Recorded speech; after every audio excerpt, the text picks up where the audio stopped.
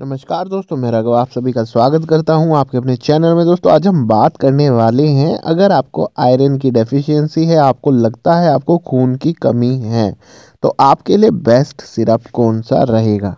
तो दोस्तों, आज हम बात करने वाले हैं आर्बिटोन सिरप के बारे में, और इसकी हम कंप्लीट इन्फॉर्मेशन लेंगे लाइक इसका यूज़ किस तरह से करना है, इसके बेस्ट रिजल्ट्स के लिए। इसका डोज क्या होना चाहिए? कौन सी कंपनी का प्रोडक्ट है? कितनी कॉस्टिंग में ये आपको पड़ेगा?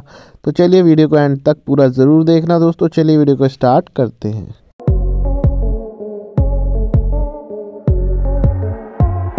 तो दोस्तों चलिए क्विकली बात कर लेते हैं बेसिक्स के बारे में। आर्बिटोन सिरप है, ये मेडले कंपनी का प्रोडक्ट है और ये जैसे कि आप सभी जानते हैं न्यूट्रासूटिकल प्रोडक्ट्स में आता है और इसकी कॉस्टिंग अबाउट पड़ेगी आपको 200 सौ की एक सौ चौरासी रुपये वन एट्टी फोर रुपीज़ की। तो देख सकते हैं आपकी मार्केट पे कितने रुपये का मिल रहा है। अगर ऑनलाइन देखेंगे तो वन एम पे पंद्रह परसेंट का डिस्काउंट मिल रहा है इस पर तो वहाँ से भी आप ट्राई कर सकते हैं। और दोस्तों, अगर हम इसके की इंग्रेडिएंट्स की बात करें या फिर इसके कंपोजिशन की बात करें तो इसके अंदर चार मेन इंग्रेडिएंट होते हैं। सबसे पहले नंबर पे आता है आयरन उसके बाद आता है फोलिक एसिड जिसे आप विटामिन बी नाइन के नाम से भी जानते हैं। उसके अलावा साइनो कोबालामिन जो कि विटामिन बी ट्वेल्व के नाम से आप जानते होंगे तो इसके अलावा इसके अंदर होता है कैल्शियम दोस्तों, अगर हम इसके यूजेस की बात करें तो आप इसके कंपोजिशन से ही समझ गए होंगे, ये आयरन की डेफिशिएंसी में बेसिकली यूज़ किया जाता है, या फिर अगर आपके अंदर ब्लड की कमी है हीमोग्लोबिन की कमी है तो उन कंडीशंस में इसको डॉक्टर्स ज़्यादातर यूज़ करते हैं।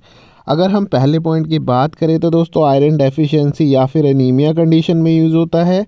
उसके अलावा point number two iron deficiency due to chronic blood loss और लो इनटेक ऑफ़ आयरन मतलब अगर आप कम आयरन खा रहे हैं, आपकी डाइट में आयरन की डेफिशिएंसी है उस कंडीशन में। और तीसरा होता है दोस्तों iron deficiency anaemia and nutritional anaemia that occurs specially during pregnancy and lactation sometime lactation के टाइम पे लेडीज़ के अंदर फीमेल्स के अंदर आयरन की डेफिशिएंसी हो जाती है या फिर जब वो न्यूट्रिशन सही से नहीं लेती हैं, उसकी वजह से भी हो जाती है तो उस कंडीशन में भी डॉक्टर्स इसको यूज़ करते हैं।